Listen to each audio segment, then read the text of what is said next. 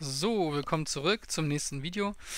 Ähm, in dem Video wollen wir natürlich unseren neuen Eintrag endlich fertigstellen und das auch in der Datenbank speichern. Und ihr seht, ich habe das jetzt hier mehr oder weniger hübsch gemacht. Es geht sicherlich noch hübscher. Und zwar habe ich hier oben einfach ein Inputfeld erstellt. Ähm, das ist da. Ähm, ich mache das mal ein bisschen größer ähm, mit der ID Title und dem Namen Title und der Klasse New Entry Style. Das heißt, ähm, ich habe eine neue CSS-Klasse gemacht für New Entry Style. Ähm, selbiges bei der Text Area. Das ist dieser große Bereich hier unten. Das ist eine Text Area. Die habe ich auf eine Größe gesetzt von 20 Spalten, 50 Zeilen. Ähm, da haben wir, glaube ich, genug Platz. Und dann habe ich noch hier unten die beiden Buttons angefügt mit Send und Clear und für die auch noch ein Styling gemacht. Das Styling gucken wir uns mal an. Das ist aber wie gesagt nicht äh, so spannend. New Entry Style ist das hier. Also Schriftgröße 8, die Font Family reingebracht und Resize None. Das Resize None sorgt dafür, dass ich diese Text Area nicht in der Größe verändern kann. Wenn ich das mal rausnehme, kann man nämlich ähm, bei New hier unten die Größe der Text Area verändern ähm, und hat auch über den über den Rand des Diffs hinausgehen. Und da ich das nicht so schön finde, habe ich hier ähm, Resize None genommen, damit das einfach immer genau so aussieht.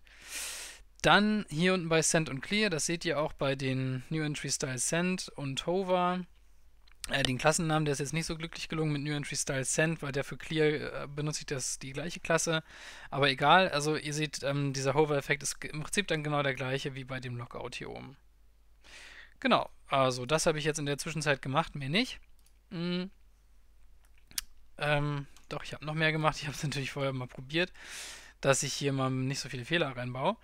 Und zwar ähm, als nächstes möchten wir natürlich, dass hier unten nicht Benutzername und heutiges Datum steht, sondern Bernd und das heutige Datum. Dazu bin ich in der New Entry und hier unten wird das ja hingeschrieben und wir wissen ja, dass unser Benutzername im $Session Array gespeichert ist. Das heißt, ich ähm, öffne hier wieder einen PHP-Bereich und sage Echo Session Username und dann brauche ich natürlich noch mein, mein Komma, was dahin soll. Das ist dann mit dem Verkettungsoperator rangeklebt und dann soll da ein Datum hin. Äh, Datum. So. Und jetzt sieht die ganze Sache äh, so aus, Bernd und Datum. Das heißt, wenn ich mich jetzt mit einem anderen Benutzernamen anmelden würde, würde da eben der entsprechende Benutzername stehen. Und da soll natürlich nicht Datum stehen, sondern da soll ähm, ein Datum stehen. ähm, und da gibt es eine ganz einfache Funktion. Das ist ähm, objektorientierte Programmierung, das hier oben, New Date Time. Da wird also ein Objekt erzeugt vom Typ Date Time. Und mit diesem Objekt kann ich ganz viele Sachen machen. Ich kann mir nämlich ähm, das aktuelle Datum in meinem Wunschformat ausgeben lassen. Dazu schreibe ich hier $Date, dann kommt so ein Pfeil, Format. Und dann sage ich Tag, Punkt, Monat, Punkt, Jahr. Äh, da. So, und ähm, das sieht jetzt total verrückt aus, weil das irgendwie so ist. Das ist richtig, genau. Ähm, und damit wird mir quasi von meinem Datumsobjekt, da steckt also das aktuelle Datum drin mit Uhrzeit, ähm, einfach als Format ausgegeben, nämlich mit Tag, Monat und Jahr, dass ich das quasi gleich mal hier sozusagen sichtbar habe. Und wenn ich jetzt auf New klicke, habe ich hier den 8.3.2015. Also heute sozusagen. Und ähm, genau, dann sieht sozusagen der Nutzer gleich ähm, wie das dann gespeichert wird, denn wir hatten ja bei Blog nachher, hatten wir hier auch Autor und Datum, dass das sozusagen visuell hier drin ähm, schon mal angezeigt wird. So, das so viel dazu. Dann brauchen wir noch eine Action, die ähm, habe ich hier schon eingetragen. Das ist also index.php Fragezeichen New Entry. Das heißt, ich verweise wieder auf meine index.php und schicke ein Event mit im Sinne von New Entry, damit ich sozusagen nachher weiß in meiner Index, okay, hier möchte ein neuer Beitrag erstellt werden. Und ähm, damit bin ich sozusagen in der New Entry PHP schon fertig. So, dann gehen wir mal zu Index PHP. Und hier sage ich jetzt neuer Eintrag erstellen. Einfach hier unten unter nach der Logout-Funktion und so weiter, also quasi vor dem HTML-Bereich. Dann wieder if is set, $get new entry und ähm, jetzt brauchen wir tatsächlich ein paar Informationen noch mehr, denn ähm, wir haben ja in unserem $Post-Array erstmal den Title. Title. Ups. Und dann haben wir unseren Text. So, ähm, da brauchen wir natürlich noch ein paar mehr Informationen, denn wir brauchen wieder das aktuelle Datum, denn dadurch, dass ich das Datum hier bei New Entry einfach nur hier unten ausgebe, ähm, habe ich es noch nirgendwo gespeichert. Das heißt, in dem Moment, wenn ich meine Seite New Entry sehe, also wenn ich das Formular hier sehe, dann ähm, ist das ausgegeben und weg. Das heißt, das Objekt gibt es nicht mehr, dieses State-Objekt gibt es dann nicht mehr. Äh, alle PHP-Variablen sind erledigt, alles weg, außer das, was gespeichert wird, zum Beispiel $Session. Das bleibt natürlich so lange da, wie ich eingeloggt bin, aber der Rest ist sozusagen abgearbeitet und entfernt. Das heißt, ich muss in meiner Index-PHP, dadurch, dass wir das Datum mitspeichern wollen, wieder ähm, das aktuelle Datum abfragen und dann bin ich einfach total faul und kopiere mir die Zeile hier. Dann habe ich Date ich mache mal hier noch ein Date Object draus, damit ich dann sozusagen danach eine Zeichenkette kriege, die ich dann Date nenne. Date Format. Und jetzt nehme ich ein anderes Format, jetzt nehme ich Year, Month und Day. Denn das Formular, denn dieses Format hier kann ich ähm, sortieren. Und wenn ihr nachher ein bisschen weitermachen wollt, sozusagen die Blog-Einträge ein bisschen schicker darstellen wollt, dann wollen wir natürlich die aktuellsten immer ganz oben haben. Das heißt, ähm, wenn wir nachher unsere Blog-Einträge auf der Seite Blog anzeigen, wollen wir immer den letzten Blog-Eintrag ganz oben sehen. Deswegen habe ich hier ähm, das andere Format gewählt. Wenn wir das nachher ausgeben, können wir einfach ähm, das Format wieder umstellen. Das werdet ihr dann sehen, das ist ähm, nicht sonderlich schwer. So, dann brauchen wir noch unseren Benutzernamen und da haben wir ein kleines Problem, denn in unserer User-Tabelle ähm, haben wir ja ID, Username, UserPass und wir haben ja einen Fremdschlüssel gesetzt von der Tabelle Entries auf unseren Usernamen. Ja, also die ID-User, das heißt, wir brauchen die User-ID und nicht den Usernamen. Das heißt, wir haben aber nur den Benutzernamen gespeichert. Hm, so, jetzt gibt es verschiedene Varianten. Entweder ich kann mir hier oben, wenn ich den Benutzer einlogge, also hier, noch die ID speichern. Ähm, oder ich ähm, frage mir die ID jetzt nochmal ab. Diese $Session-Variablen kann man vom Server her auslesen. Das heißt, es wäre sicherer, die ID in dem Moment, wenn ich sie brauche, aus der Datenbank zu holen. Und deswegen machen wir das auch so. Das heißt, ich muss erstmal meine Datenbank connecten. Connect db dann habe ich hier wieder ein Result. Da mache ich dann MySQL Query.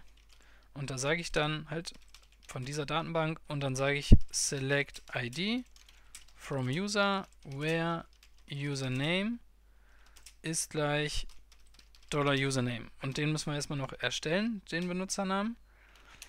Und unser Username ist ja Session. Ups. Username. So, ähm, ich schreibe das hier oben extra hin, weil wenn ich das hier eintrage, habe ich ein Problem mit den doppelten und einfachen Anführungszeichen. Deswegen speichere ich mir den Usernamen quasi vorher einmal vor.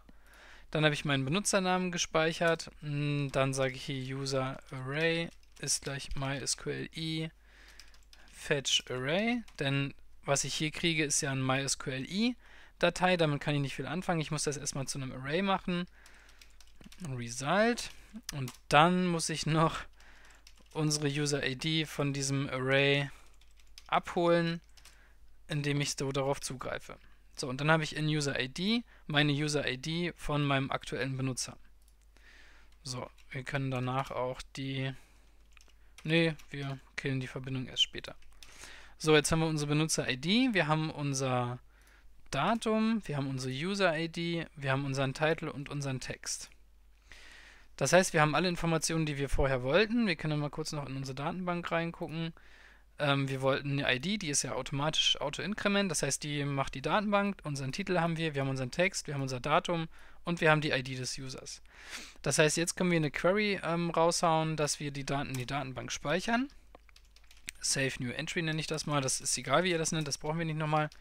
MySQL Query und zwar von unserer Datenbank und jetzt mache ich mal ein bisschen Absatz, weil das wird eher eine längere Query. Insert into Entries und jetzt kommt die Insert into Abfrage, das heißt jetzt kommt meine Tabelle Entries und in die Spalten Title, Text, Date und ID unterstrich User kommen diese Values. nämlich unseren Title. Hier müsst ihr aufpassen, wenn ihr das auch hier in Code Anywhere schreibt. Manchmal macht er zwei einfache Hochkommata, manchmal nur ein. Ähm, um da ein bisschen aufzupassen, kopiere ich mir einfach den Title. Komma, Komma. Und wenn ich das jetzt so machen würde, würde ich quasi überall meinen Titel drin zu stehen haben. Ähm, deswegen hier aufpassen, Text, dann hier einmal Date und hier ID User. Habe ich das so genannt? Ne, User ID habe ich es genannt. So, jetzt fange ich also mein if-set-Event ab mit New Entry, speichere mir meine durch das $Post-Array gespeicherten Informationen Title und Text aus dem Formular in die Variablen $Title, $Text. Dann mache ich hier mein neues Datum, also das aktuelle Datum. Datum, wir können ja auch mal ein paar Kommentare hier reinpacken, ne? Ähm, Daten aus dem Formular. Formular. Dann haben wir hier ähm, User-ID abfragen.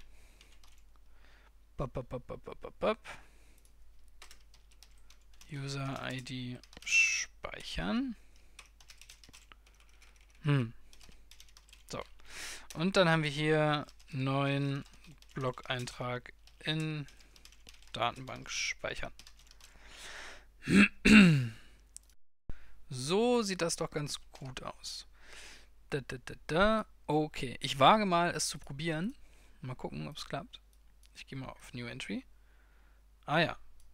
Zeile 84 haben wir einen Fehler. Und zwar, ah ja, ein Semikolon hat gefehlt nach dem Save Entry.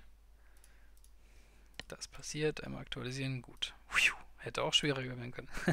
so, dann machen wir hier mal einen Titel. Test Titel ein Testbeitrag für unser Beispielprojekt. Punkt. Einmal auf Send. Okay, ich bin bei meinem Blog gelandet. Das heißt, theoretisch müsste ich jetzt hier Juhu, Heureka. So, und da haben wir so einen kleinen Kommentierungsfehler mit für. Das äh, machen wir später, wenn wir das ganze Projekt schick machen. Aber der Rest hat geklappt. Also wir sehen hier eine ID 1. Dann haben wir hier unseren Testtitel eingetragen unseren Text, einen Testbeitrag und so weiter mit einem Datum und unseren User. Das heißt, wenn ich jetzt auf User ID 1 klicke, müsste ich bei unserem Bernd landen. Jawohl, das hat also schon mal ganz schön funktioniert. So, das heißt, wir können jetzt neue Einträge erstellen. Das heißt, wenn ich jetzt wieder auf New gehe, noch ein Beitrag, wieder ein Testbeitrag für unser Beispiel, Punkt, Punkt, Punkt, wieder auf Send und mir nochmal eine Datenbank meiner Entries angucke, habe ich hier einen zweiten Beitrag. Und wieder von unserem Band, der total fleißig ist. Ähm, ja, schön, das funktioniert. So, jetzt ähm, soll das für dieses Video auch ausreichen. Im ähm, nächsten Video wollen wir dann unsere ganzen Blog-Einträge mal anzeigen und auch diesen Konvertierungsfehler da wegmachen, dass da in der Datenbank auch das richtige für drin steht.